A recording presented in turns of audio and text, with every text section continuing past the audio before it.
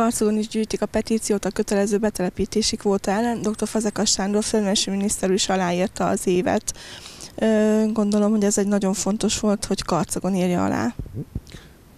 A bevándorlás, betelepítés problémája az egyik legfontosabb sorskérdése a magyarságnak a magyarok karddal szerezték ezt a hazát, és kereszt által tudták megóvni, megvédeni, és európai keresztény országként nekem meggyőződésem, hogy nincsen szükségünk egyetlen bevándorlóra sem, sem itt Karcagon, sem máshol. Itt élünk ebben az országban, ez a miénk, a magyar életformánk, az a számunkra egy európai keresztény kultúrát jelent, és ezt nem szabad, hogy megbontsa bármilyen betelepítés, bármilyen ránk erőltetett kóta. Magyarország független, szuverén ország, elképzelhetetlen az, hogy bárki előírásokat szabjon arra, hogy nekünk valahonnan be kellene fogadnunk ismeretlen, teljesen más kultúrájú embereket. Én sajnálom azokat, akik a hazájukat elhagyni kénytelenek, de a megoldást a saját országukban kell megtalálni.